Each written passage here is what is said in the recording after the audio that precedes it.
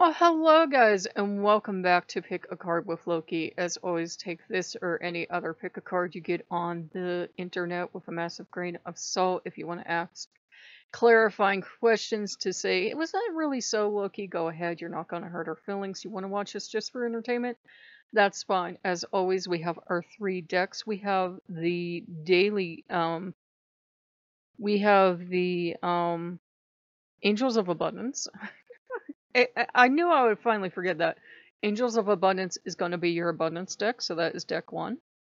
We typically do a top and bottom card, though we can do more or less depending on what the deity says. Um, your second deck is going to be your daily guidance deck, so just what it says. If you have to put this in Loki-ese or Paganese, go ahead. And our third deck is going to be, and it's almost falling apart here, is going to be the Jennifer Sands deck. This is a deck that if you think this is all nonsense and you only go to a fortune teller at a carnival for fun, that is the deck you want. So let's begin with deck one. I'm getting, yeah! So deck one, your top card is going to be raise or promotion. Okay, so we really do mix these, but you know, a lot of people have a raise or promotion to look forward to. Um, congratulations, an increase in your abundance flow awaits you. This is a result of your positive focus and willingness to take action based on divine guidance. Keep up the good work.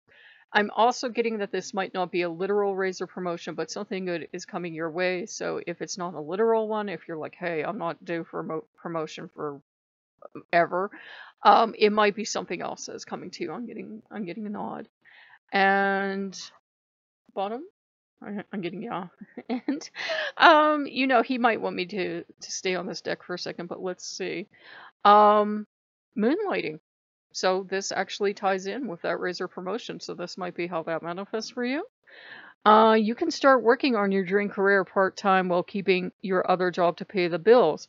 Soon your dream career will take flight and fully support you. So if there is something you've always wanted to do, if you always wanted to teach people how to do art, or you always wanted to bake, or you always wanted to do something else, it's fully okay to fit that in to do it part time. Maybe start doing it once a month or something. And then, you know, as you make connections, that might start taking off and you might start making better money than you are now.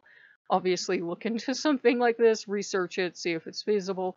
But, you know, um, there are a lot of people who were lawyers and went off to become bakers and things like that. So it's totally possible that whatever it is that you're thinking of doing, Loki's going, go ahead, you know, start moonlighting. Start, you know, that's that's kind of a thing of, you know, go ahead, start doing it on the side. Even if you start doing it for free, like you bake at a charity or you do something like that, get your foot in the door at least, see how you like it, see if you like the reality of it.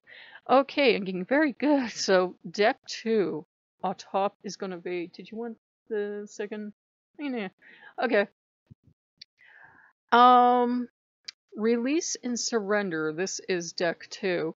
So you're going to get we shower you with blessings of our radiant love. Open your arms and release the challenges that you've held tightly gripped within your hands.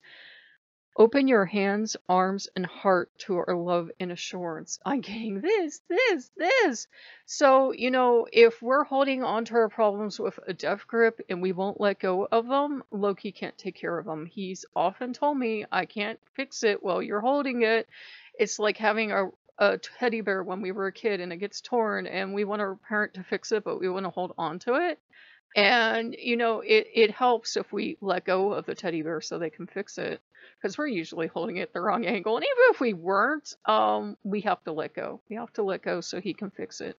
I know it's scary because it's like you, like when you were a kid, you were like, I'll never see Teddy again or Teddy will get hurt or something. It's okay, let go of it. And as Loki's taking care of your problem, he hold you at the same time. I'm getting, yeah, I'm getting bottom, please. So bottom of the deck is going to be plays. So this is a perfect one to give from Loki. I think a lot of us need this right now. Um, beloved one, it is time to set aside work for a while. Don't worry, we'll oversee your responsibilities to their completion. Uh, no, just wait a second. Um, this doesn't mean don't go into work ever again and Loki will show up in Moonlight for you. Um, I got exactly. Playfulness, Gaiety and laughter will lift your energy. so that you'll return to work with a renewed perspective and heightened energy. Aha, the card's kind of doing a Loki sneaky sneak. It's okay to take a break. It's okay, uh, you know, a lot of workplaces even tell you you have to take the breaks by law. You too. They can't like just I know there are a lot of bad places they can't not supposed to just work you without a break. Take that break. Take 15 minutes to go you know, if you're working in a place that has a place to go play and blow off steam, go do that. Take 15 minutes to play on your phone. Take, you know, time to go outside. Take whatever kind of of break you need on. Take a coffee break here because we've actually been filming tons of videos today. And the important thing is to play, but you know, as Loki was pointing out, he's like, hey, and this card just kind of did a Loki sneak. Um, go play, it's okay. Go play. Go take the time off to play. But I think a better way to term it would be you yourself have the responsibility to go play. Don't be afraid to go play because you might think like, oh, if I went and played, I'd never come back. You will. You will. Just give yourself five minutes, ten minutes, fifteen minutes, whatever you have. If you're lucky, an hour, whatever, a couple of days if you have it. Go play. You will come back. You will. You will. The completionist and you, even if you don't think it's there, will come back and finish your finish your um, duties.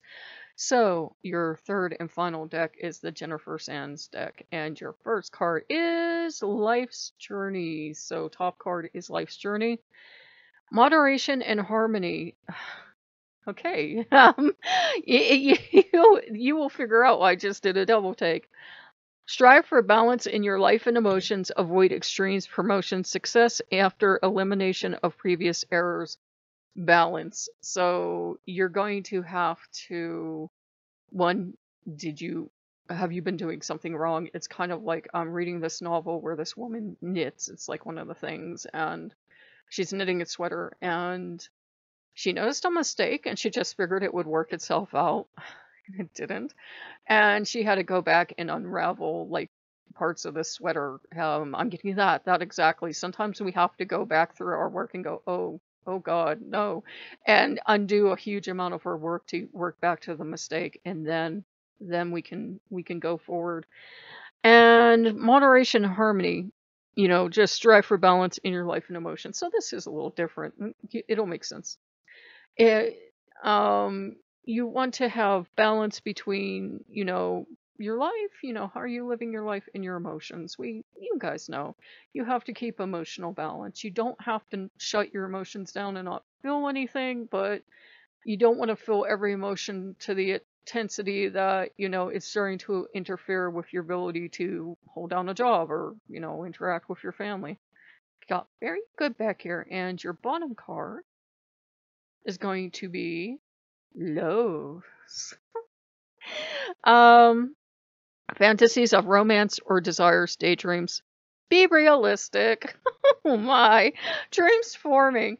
So your dreams are forming, but be realistic in those dreams. Um, okay, I'm gonna say something, and I'm not calling people out here.